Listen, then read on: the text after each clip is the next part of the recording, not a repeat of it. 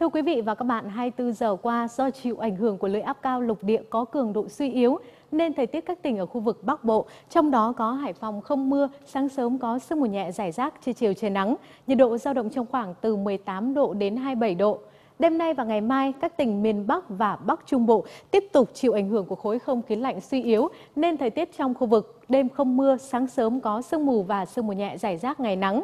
Các tỉnh miền Trung và Nam Trung Bộ có mưa rào rải rác và có nơi có rông. Tây Nguyên và Nam Bộ đêm không mưa, ngày nắng, chiều tối có mưa rào và rông vài nơi. Tại thành phố Hải Phòng ngày mai tiếp tục duy trì hình thái thời tiết nhiều mây không mưa, trưa chiều giảm mây trời nắng, đêm và sáng sớm trời rét. Còn ngay sau đây sẽ là dự báo chi tiết tại khu vực thành phố Hải Phòng đêm nay và ngày mai.